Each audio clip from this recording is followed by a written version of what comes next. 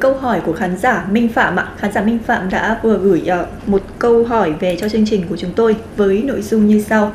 À, vâng, thưa chuyên gia, à, chuyên gia có thể chia sẻ cho tôi ờ, một số thông tin về ờ, gà lương phượng có được hay không ạ? Đó chính là khối lượng phù hợp của gà lương phượng khi vào đẻ và trong giai đoạn đẻ như thế nào ạ? Và cách mà tôi có thể ép trứng, tức là ép cho gà đẻ được nhiều trứng như thế nào? Và nếu như có thể thì uh, chuyên gia cho tôi xin bảng thức ăn cũng như khối lượng từng giai đoạn của gà lương phượng ạ. Dạ xin mời chuyên gia. Vâng, ờ, thưa bạn Phạm Minh, ờ, với cái câu hỏi của bạn thì chúng tôi có thể trả lời lần lượt như thế này. Gà lương phượng khi vào đẻ, gà lương phượng thì nó đẻ bói đúng nhất là vào tuần 21 hoặc tuần 22. Tất cả những cái đàn gà mà đẻ sớm hơn hoặc muộn hơn như thế này thì đều chưa không đạt yêu cầu cho nên cái yêu cầu đầu tiên đó là phải đẻ bói ấy, tức là rơi trứng đầu tiên ấy, vào tuần 21 22 Đấy. À, thì khối lượng của con gà mái lúc này cân được đạt tiêu chuẩn là 2 cân 1 hoặc 2 cân mốt 50 đấy. tất cả các cái khối lượng trên khối lượng này đấy, hoặc dưới khối lượng này là đều không đạt yêu cầu ừ. thì đấy là ý thứ nhất vấn đề thứ hai là gà lương phượng à, trong giai đoạn đẻ pha 1 tức là đẻ đến tuần thứ 40 đấy. Tức là từ tuần 21 cho đến tuần thứ 40 tức là đẻ trong 19 tuần thì đấy gọi là đẻ phase 1 thì khối lượng gà lương phượng có vẫn có thể tiếp tục tăng. À, vẫn có thể tiếp tục tăng. Và người ta sẽ lấy ở tại cái thời điểm 39 tuần hoặc là 3 40 tuần người ta cân gà để người ta kiểm tra. Thì cái khối lượng gà mái lương phượng lúc này chuẩn nhất là 2 cân 7 hoặc là 2 cân 6 còn nếu gà mái lưu phượng lúc này là 3 cân thì là quá to mà hai cân tư thì là quá gầy. Thế nên là phải điều chỉnh lại. Đấy là cái ý thứ hai. Ý thứ ba là không cần phải ép trứng. Giai đoạn này là cái giai đoạn cần phải gà phải phải sử dụng cái thức ăn để cho bởi vì giai đoạn này là gà nó sẽ đẻ tăng dần. Cho nên là thức ăn là phải tiến hành cho ăn theo nhu cầu của đẻ trứng. À, gà lưu phượng sẽ bắt đầu đẻ à, đỉnh cao là vào tuần 27 và nó sẽ kéo dài trong thời gian 6 tuần ừ, thậm chí có thể đến 8 tuần. Thì nó kết thúc ở cái tuần 35 hoặc là tuần 38 cho nên là từ tuần 27 cho đến tuần 35 là các hộ khi nuôi gà lương phượng phải rất chú ý là phải cho gà ăn ở mức độ cao nhất.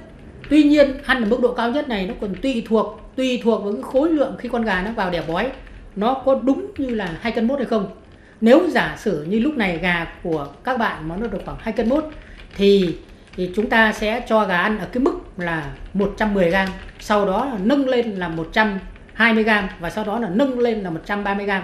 Và khi đến 20 tuần thứ 27 nó đẻ 50% rồi là phải cho ăn tăng lên ở mức là 140 đến 145 gram.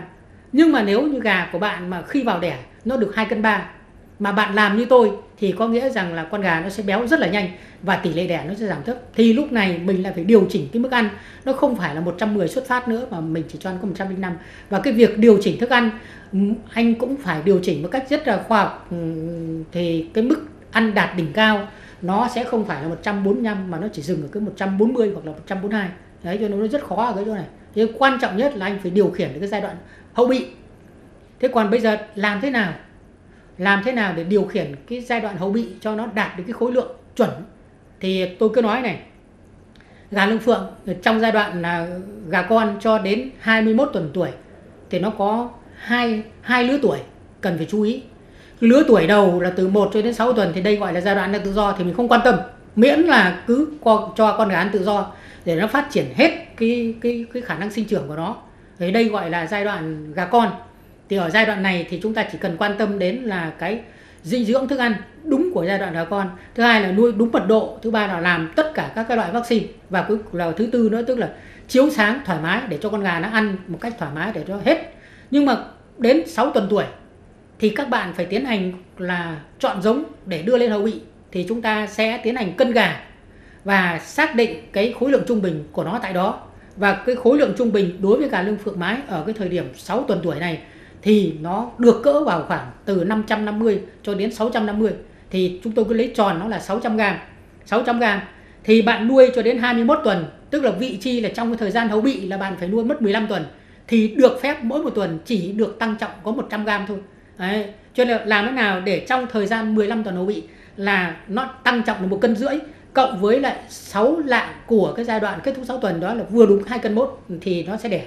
Đấy. Và trong cái giai đoạn 15 tuần này thì cái điều quan trọng nhất của cái người nuôi gà là phải làm được hai việc. Việc thứ nhất là phải khống chế thức ăn để cho nó lớn một cách từ từ. Chứ nếu mà bạn cho ăn quá tay một cái thì nó không phải nó tăng trọng 100 gram mà thậm chí nó tăng trọng 200 gram tăng trọng 300 gram thì nó biến thành gà thịt thì nó ảnh hưởng ngay đến là con gà nó lớn nhưng mà tuổi phát dục của nó chưa lớn thì nó dẫn đến hiện tượng là đẻ trứng sớm. Vậy đẻ trứng sớm như vậy thì xảy ra là trứng bé, hai là năng suất trứng thấp. Đấy. Thế còn nếu như bạn mà lại không điều khiển thức ăn mà nó lại bé quá, nó bé quá tức là nó không tăng trọng được nổi 100 g mà nó lại còn tụt đi 8 90 g thì dẫn đến gà quài cọc. Gà quài cọc thì sẽ đẻ muộn, tức là 2 21 tuần nữa nó không đẻ, và chỉ là 2 3 tuần nó đẻ. Thế nhưng mà đẻ muộn thì trứng cũng ừ, năng suất trứng cũng không cao. Đấy. Thì đấy cho nên là cái điều khiển thức ăn ở giai đoạn này làm thế nào đấy để đảm bảo mỗi một tuần con gà mái nó chỉ tăng trọng 100 g. Đây là cái vấn đề không dễ. Đấy. Thứ hai là độ đồng đều của đàn gà này là phải rất là tốt. Đấy mặc dù nó được ăn đói mặc dù khối lượng nó nhỏ mà nhưng mà phải làm sao là đàn gà nó lớn một cách rất là đều nhau. Chứ không phải rằng là vào trong chuồng con thì to con thì nhỏ mà con thì coi như là kẹ mà con thì là phát triển một cách rất bình thường. Đấy đàn gà nó phải đều. Thì khi vào đẻ nó mới đều. Và đúng đến, đến 21 tuần là nó phát dục màu nó đỏ rực lên. Đấy. thế và giai đoạn này một yếu tố thứ ba nữa là yếu tố chiếu sáng là phải ngắt toàn bộ điện ban đêm chỉ dùng ánh sáng ban ngày thôi. Mà thậm chí người ta còn có thể là che bớt nó tối đi để nó chậm phát dục. Đấy cho nên tôi nói như vậy để bạn minh biết là chăn nuôi gà đông phượng đặc biệt khó trong giai đoạn nuôi hầu bị. Đấy cho nên bây giờ bạn muốn yêu cầu chúng tôi cung cấp cái thức ăn thì thức ăn thức ăn là nó là là thức ăn là là là là là là, là, là vạn biến. Thế còn cái khối lượng là bất biến cho nên là bạn cứ làm sao bạn sử dụng thức ăn để điều khiển làm sao con gà mỗi một tuần nó tăng trọng 100 gram và cái 100 gram này là 100 gram không có thể thay đổi. Có thể là 90 gram hoặc có thể là 120 gram thì bạn sẽ lấy thức ăn để bạn điều chỉnh. Tôi nói ví dụ như là ở tại cái tuần thứ bảy Đấy, bạn cân của nó yêu cầu của chúng tôi là gà của nó là 700 gram. Nhưng bây giờ bạn cân gà của bạn nó là 800 gram. Đáng giá ra mức ăn của chúng tôi yêu cầu là chỉ cho ăn có 50 gram thôi. Nhưng vì gà của bạn nó là tăng trọng 80 gram thì bây giờ bạn không thể theo chúng tôi là ăn 50 mà bạn chỉ cho ăn có 40 rồi đấy cho nên cái thức ăn là nó là ứng xử một cách linh hoạt theo khối lượng của gà. Còn cái khối lượng của gà là bạn phải điều chỉnh cho nó chuẩn. Đấy chứ tôi cho bạn thì tôi cũng vẫn chỉ cho cái khối lượng thôi. Còn tôi không cho thức ăn thức ăn tôi chỉ cho là gợi ý. Thì uh, mong bạn cố gắng làm sao cái nuôi gà lương phượng. Nó sẽ à, điều khiển tốt thì sau này con gà nó mới đẻ sai và trứng nó mới to. Bởi vì à, cái tuổi gà lương phượng người ta chỉ khai thác có 10 tháng thôi. Cho nên là nếu trong cái 10 tháng đấy mà gà lương phượng nó đạt nó nó đẻ nó không được sản lượng trứng mà có thể là đạt sản lượng trứng nhưng mà khối lượng trứng là không đạt thì nó sẽ ảnh hưởng ngay đến cái cái cái cái cái khả năng sản xuất.